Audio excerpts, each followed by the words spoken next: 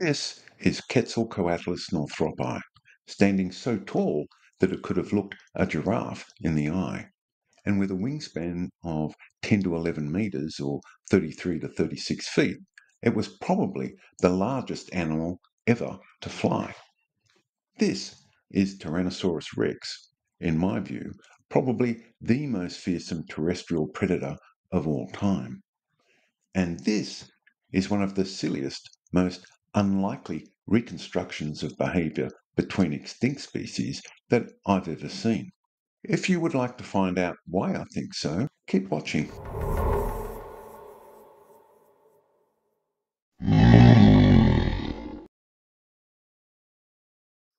Hi, Professor Steve Wroe.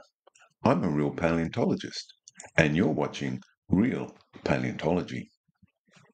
And today, I'm going to do some reacting which seems to be a bit of a thing on YouTube these days.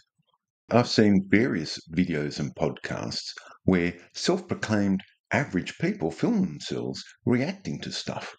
And for some reason, lots of other people appear to like watching them react. For example, I've seen videos of average Americans filming themselves reacting to Australians playing a variety of football that we call rugby league. I've also seen Americans reacting to their supposed first encounter with British humour. And I've seen average, so called everyday British people reacting to behaviours that Americans consider to be bad manners, and vice versa. I could go on. Can't say that I personally find such things of much interest, but hey, each to their own. However, I have seen other videos where experts in a particular field do some reacting. And probably because I'm a nerdy old scientist, I find this kind of reacting to be far more interesting. And this includes paleontologists reacting to whether particular scenes in a movie or documentary are credible or just plain silly.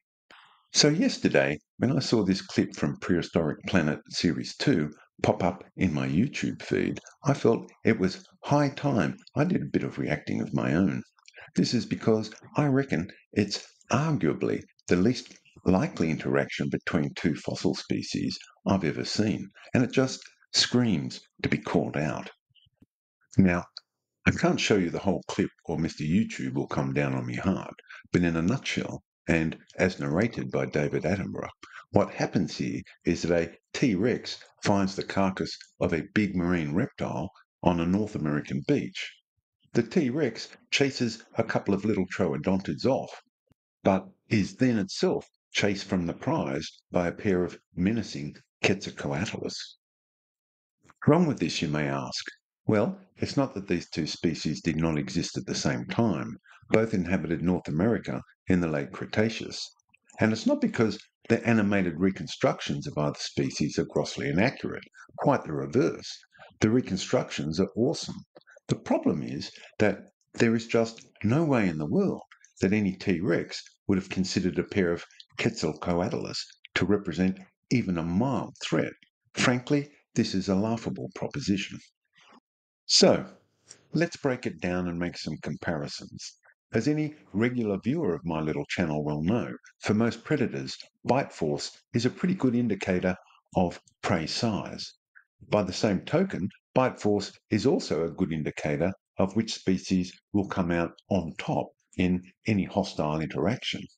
And if you've watched my recent episode on the biggest biters of all time here, you'll know that with a bite reaching the equivalent of 57 metric tons or 126,000 pounds of force, T Rex was probably the biggest biter to ever walk the earth.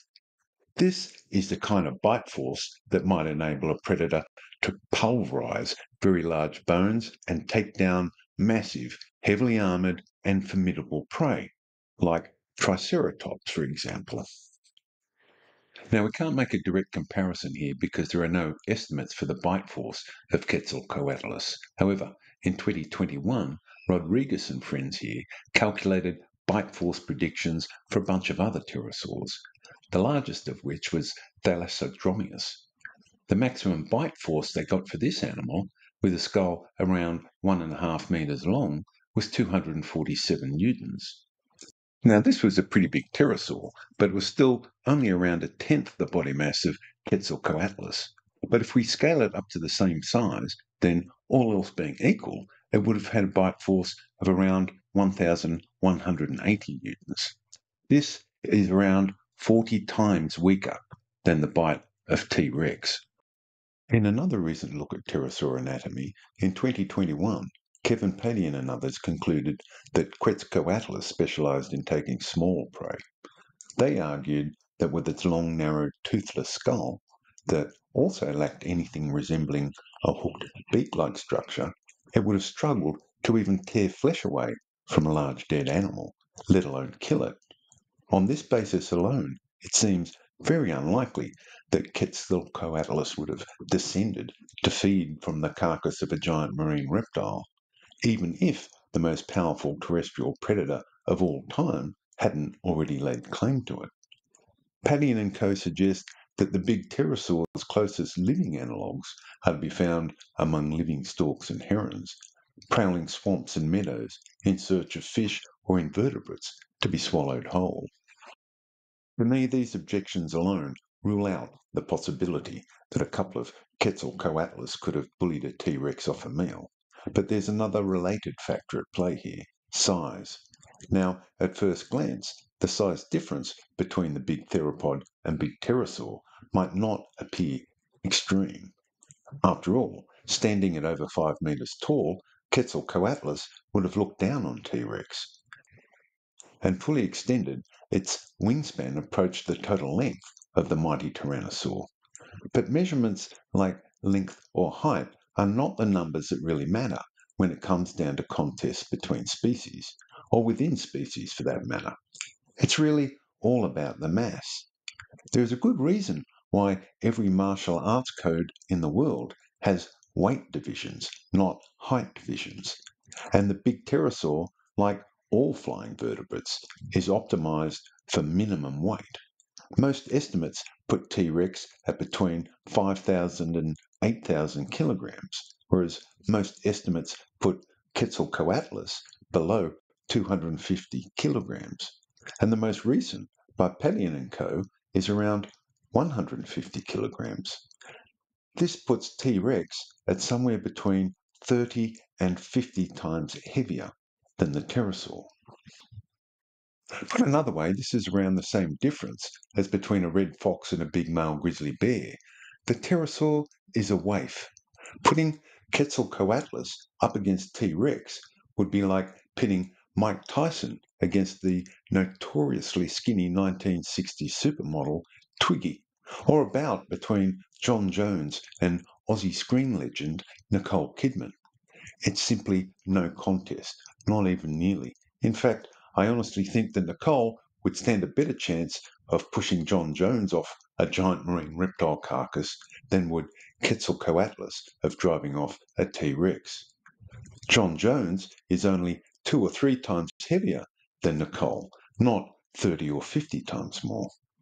Anyway, it felt good to get that off my chest, quite cathartic. If anyone's got another silly paleo scene from a movie or documentary that they would like me to react to, please just let me know in the comments section. And if you did enjoy this episode, please like and subscribe. I'll be back with another episode shortly.